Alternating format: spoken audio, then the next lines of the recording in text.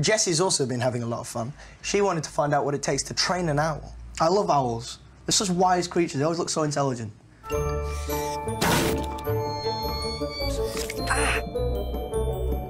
Hi, I'm Jessie Cave. I play Lavender Brown. And um, I've been given the chance to fly an owl today, or learn to fly an owl, or try to fly an owl. This is Guillaume. And um, you're an owl expert, aren't you? Yes, I am owl trainer. An owl trainer. How many animals are there? For the owls, we have 27 owls. Headway. There we go. How long have you been training owls? And how long do they generally have to be trained for? I'm training owls, uh, birds for over 12 years now. 12. Yeah, and just for the base, like a bird come to you and make him stay somewhere, uh, you need between one month and three months. And after, when you train to retrieve things, because owls are not the cleverest animals on the, on the Really? world. No. Are they It's- it's stupid? Whoa. Did she just ask if they were stupid? Let's replay that, please. Are they It's like- stupid?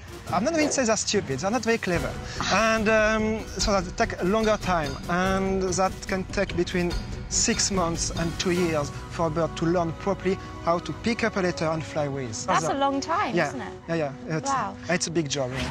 What about the wise old owl? Matt, I hate to disappoint you, but owls only look clever. Up, I give. She's going. Come on, you. Ah, ah, ah, ah. Okay, okay. The, the wind make her fly. Yeah. Okay. Ah, it's very pretty. I'd like to know more about Hootie. All the actors obviously have um, doubles, Yes. which is quite disconcerting. Does, say, Hedwig have a double? Yes. Really? Uh, when we shoot for one animal on a movie, you have minimum three animals behind. Wow. because sometimes they can be sick, not feeling very well. Sometimes, if we shoot too long time, uh, the animal can be tired. So how many hours can Hootie work for before it has to go home? Or they can do like 10 flies. Should we get Hootie back over here? Can he come back? No problem. It?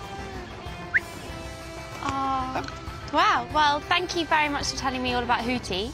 He's No been a bit of a hoot.